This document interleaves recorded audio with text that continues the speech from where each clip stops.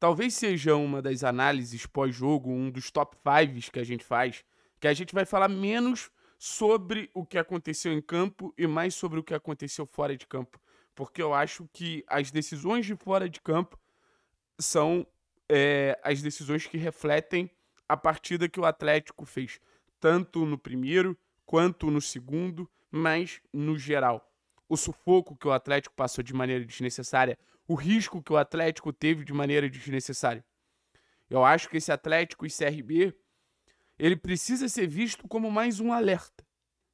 Mais um jogo que a gente olha e a gente fale, precisamos mudar.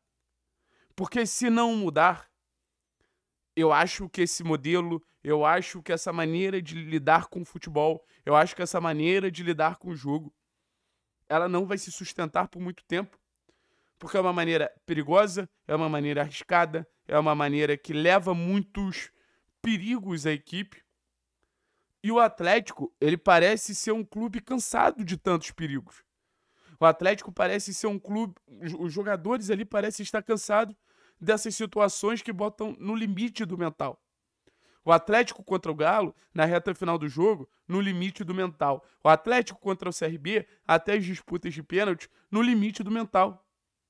E eu acho que isso explica muito porque o Atlético não vai bem no Campeonato Brasileiro. O Atlético ele vai tão ao limite que ele precisa de um tempo maior para se recuperar. Talvez se o Atlético não tivesse tomado o gol do Paulinho contra o Atlético Mineiro, ele poderia ter entrado um pouco melhor contra o Fluminense. Se a gente não tiver. É... Se a gente não tivesse matado o jogo contra o CRB antes, se a gente tivesse matado na real, talvez a gente não precisasse correr tanto e agora tem novamente um jogo importante contra o Galo no Campeonato Brasileiro fora de casa. Esse Campeonato Brasileiro ele não vai perdoar, assim como a Copa do Brasil não perdoa, assim como a Copa Libertadores não perdoa. Mas sabe quem vem perdoando muito? Quem vem perdoando muito é o Atlético. Quem vem mantendo os adversários muito vivos nos jogos é o Atlético. Quem vem esticando o máximo a corda da decisão dos jogos é o Atlético. O Atlético é o principal responsável pela situação que ele se encontra hoje. É, é complicado dizer isso. Mas hoje, depois de um título invicto, depois de alguns resultados legais, o Atlético é o seu maior inimigo. E historicamente não costuma ser assim, muito pelo contrário. É um Atlético que preserva o clube, é um Atlético que toma decisões pensando no bem do futebol, às vezes um pouco polêmicas, mas assim, é um Atlético que ele sabe que ele está ali sozinho não tem instituição de, de Globo, não tem arbitragem, não tem ninguém para defender o Atlético. Se o Atlético ele não começar a se proteger dos perigos da temporada, e os perigos eles estão aí se apresentando jogo atrás de jogo pra gente. Se o Atlético não se proteger desses perigos da temporada, eu não sei o que vai ser da temporada do Atlético. E sim, isso passa muito pelo Paulo Turra, que a gente vai falar daqui a pouco sobre as grandes incoerências desse treinador, mas passa pela postura dos jogadores. E eu não posso deixar de pontuar isso. O Turra pode ter tomado várias decisões erradas e a gente vai falar sobre elas. Mas a maneira que os jogadores eles entraram em campo no primeiro tempo é imperdoável. Não dá para aceitar o tipo de postura do primeiro tempo contra o CRB, do primeiro tempo contra o Fluminense Contra o CRB deu certo correr atrás do resultado. Contra o Fluminense, nem tanto. Então, assim, a gente conta que os jogadores vão defender a camisa do Atlético independente da situação. A gente conta que os jogadores vão honrar a camisa do Atlético independente da situação. E assim, é uma postura muito aquém, que a gente vem alertando desde a final do Campeonato Paranaense. Que a gente saiu daqui revoltado. Vieram falar, ah, Thiago, curte o título. Tava muito na cara que esses jogadores não estavam se dedicando 100% pela camisa do Atlético. Só quando a água aperta. Quando tem qualquer vantagem, eles se acomodam pra cacete. Esse elenco também precisa ser cobrado. Os jogadores do Atlético também precisam ser cobrados. Não é tudo cair nas costas do Tour. A gente vai elogiar pra cacete outra postura que aconteceu no segundo tempo. Mas a postura do primeiro tempo é deprimente deprimente. Começou a melhorar ali nos 10 minutos finais do primeiro tempo. Obviamente, quando entrou Pablo e Vitor Bueno. E a gente vai falar sobre esses caras. Eu não quero botar nada na conta de Christian e Eric. Não acho que é por causa deles que o Atlético estava jogando mal. Eles também estavam jogando mal e o Atlético como um todo estava jogando mal. Mas eu acho que a grande incoerência do Atlético passa por Vitor Bueno, Pablo e Paulo Tur. Esse triângulo tá muito claro que precisa se resolver. E qual é a resolução que esse triângulo ele precisa buscar? Cara, desses caras serem titulares. E eu nem tô falando do Alex. Eu nem tô falando do Alex. Porque eu acho que existem outros jogadores ali na frente do, Ale do Alex, inclusive o próprio Christian. O Alex é muito decisivo, muito bom, enfim. Mas, cara, assim, quando você bota novamente dois jogadores que vêm num bom momento, que quando entram melhor no seu time, no banco, você está optando por uma queda de braço. Ao botar, tu, é, ao botar Pablo e Vitor Bueno no banco, o Turra opta por uma queda de braço. A torcida viu que deu certo no Campeonato Paranaense, a torcida viu que deu certo no melhor momento do trabalho do Paulo Turra, e parece que ele quer fazer tudo para não usar o que deu certo. Isso em algum momento pode funcionar. Mas isso em outros e vários e vários momentos vai atrapalhar o Atlético e está atrapalhando o Atlético. Hoje o Atlético precisa de Pablo e Vitor Bueno como peças titulares desse time. A grande incoerência é essa. O Atlético melhora com esses caras em campo. Porque esses caras não têm mais minutagem, com todo respeito ao Romulo, com todo respeito a outros jogadores. Hoje, de verdade, será que era jogo pro Romulo? Eu até falei no pré-jogo. Se o Romulo estiver entrando por uma estratégia pensando no CRB, ótimo. Mas ficou claro que o Romulo entrou pelo que ele fez contra o Atlético Mineiro e são jogos completamente diferentes. E essas incoerências são difíceis demais de entender. O Turra parecia um técnico promissor, o Turra parecia um técnico de boas ideias. Mas está se perdendo, ignorando as boas ideias. O melhor Atlético do Paulo Turra é com dois meias. Ele ignora o Vitor Bueno. Ah, mas o Christian é o meia. Pode ser. Mas você também, a partir do momento que você tem dois meias, você bota um Romulo que ingessa o seu jogo como um todo. Vinha bem, mas vinha num, num jogo de reação, não num jogo de proposição.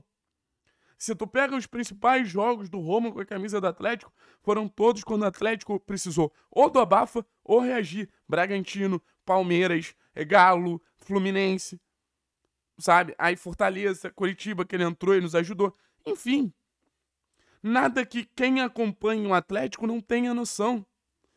Então, essas incoerências que vêm atrapalhando o Atlético, que fez um primeiro tempo muito ruim, um primeiro tempo pobre, um primeiro tempo que não dá nem para analisar muita coisa. Porque era um time que não conseguia desenvolver pelos lados, porque os pontos estavam por dentro. E a bola não chegava pelos, pros pontos. Então o que que gerava? Só jogo pros lados. E o que que isso gerava? Cruzamento. Era muito óbvio o jogo do Atlético. Trazia os pontos para dentro, isolava os pontas do time do CRB, muita marcação por dentro. Obrigava o Atlético a jogar com o Pedrinho e Kelvin, que são dois laterais que tá difícil mais uma partida ruim do Pedrinho e mais uma partida ruim do seu Kelvin também, que o Madison entrou e melhorou. Então, assim, a partir do momento que você traz Vitor Bueno, você traz Pablo, é, você começa a ter jogo por dentro. E você divide a marcação, você alarga a defesa dos caras. Porque eles sabem que eles vão ter que marcar o lado, mas também existe perigo por dentro. O Atlético foi um time extremamente previsível na primeira etapa. E o resumo do jogo não, não tem muito mistério, não. É esse. Aí no segundo tempo foi para Bafa, o Alex entrou no meio-campo ali no lugar do Romulo para dar uma equilibrada. Foi bem, começou a circular bem a bola ali com o Vitor Bueno, com o Fernandinho, com o Terence, que eu acho que foi muito bem, inclusive. Eu vi algumas críticas ao Terence. Acho que criou oportunidades, quase fez um gol, jogou na lateral esquerda quando precisou. E no segundo tempo foi muito nesse modo abafa. Mas a minha impressão, pelo menos, é que não precisava ser. O Turra não precisa comprar essa, essa queda de braço com a torcida do Atlético. O Turra ele pode fazer o trabalho dele de maneira mais calma. Eu sei que o Filipão ele tem essa postura confrontosa, eu sei que o Filipão tem essa postura de bater de frente, mas o Turra não precisa disso. O Filipão é campeão do mundo, o Turra tá começando agora. E eu não vou chamar o Turra de estagiário. Mas, pô, se ele entrar numa de bater de frente com o que todo mundo tá vendo, com o que o campo tá falando para ele, ele vai se fuder, ele vai ser demitido. E assim, tô cagando pro emprego do Turra. Como eu falei, se eu pudesse dar um trabalho a longo prazo ou demitir o Turra, eu demitiria. Mas a diretoria do Atlético vai manter o Paulo Turra no comando. Então eu preciso torcer para que esse cara ele melhore. E para ele melhorar, ele precisa parar de ser vaidoso. Ele precisa ouvir mais a torcida, o campo, todo mundo que acompanha o Atlético, que sabe que o time cresce com Pablo e Vitor Bueno em campo. E não que sejam grandes soluções, mas é o que hoje o time responde melhor. É só isso. É só isso. Acho que a gente tem que exaltar a garra dos jogadores, como a gente falou, uma postura ruim no primeiro tempo, mas a postura no segundo tempo de nunca desistir. A torcida veio junto, deu para perceber desde o início do segundo tempo ali, onde o time faz o gol no lado do Terence. A torcida acompanha, a torcida a gente sabe que é uma grande aliada do Atlético nos jogos da, da Arena da Baixada, principalmente os jogos de Copa. Então, quero falar da postura dos jogadores, da postura da torcida. Eu acho que se uniram ali para fazer um Atlético caminhar para essa classificação, que foi no coração. Mas, mais uma vez, os bons resultados, eles falam menos do que o péssimo desempenho. Isso que é triste. Isso que é triste. Desabafo, hein? Vamos falar do nosso top 5? É, é até difícil, cara. Esse jogo é, é um pouco complicado para analisar. Eu acho que passa muito pelo Bento, herói da classificação nos pênaltis. Acho que passa muito pelo Alex, o cara que levou o jogo aos pênaltis. Então, Bento em primeiro, Alex em segundo, ou Alex em primeiro, Bento em segundo. Esses com certeza estão no top 5. É... Eu acho que o Fernandinho fez um excelente segundo tempo. Não deixou o Atlético se desorganizar. Assim, foi um ponto de equilíbrio muito importante ali para a equipe, para segurar a bola, para fazer o jogo girar. Teve uma bola aos 40 do segundo tempo que o Fernandinho recompôs. Cara, assim, coisa de maluco, coisa de ídolo, tá? Eu gostei muito do jogo do Terence, acho que criou problemas para a equipe do do do CRB, porra, deu um chute perigoso ali, fez um gol anulado, jogou de lateral esquerdo quando precisou.